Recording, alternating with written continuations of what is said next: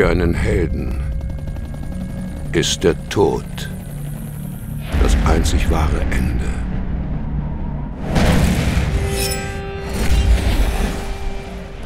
Er weiß, den Tod zu fürchten hieße, den Wert des Lebens zu schmälern. Er weiß, er kann die Gefahr nicht besiegen, aber er kann andere für einen Augenblick von ihrer Angst befreien. Mögen die Hinterbliebenen aus seinem Opfer Mut schöpfen.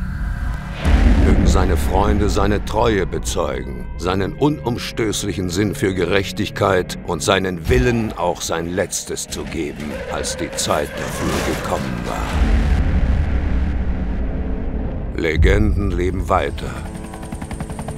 Menschen sterben.